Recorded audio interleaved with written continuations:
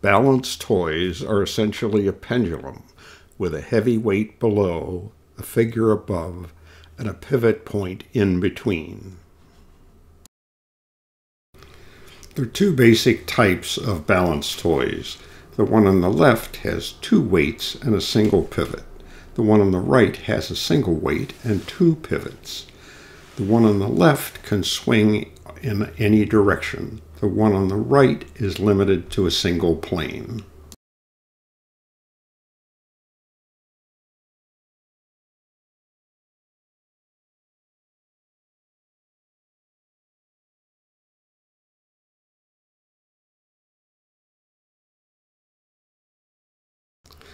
This toy is interesting because the stone at the bottom is loose and makes for a compound pendulum, causing somewhat erratic motion.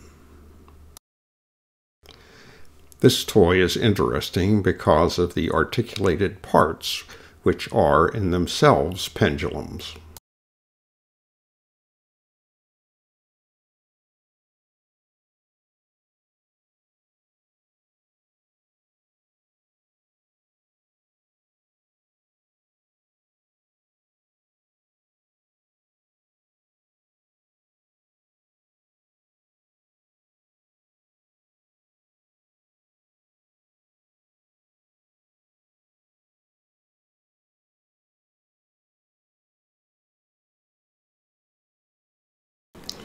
This little toy has six balanced pendulums which are sensitive to almost any vibration.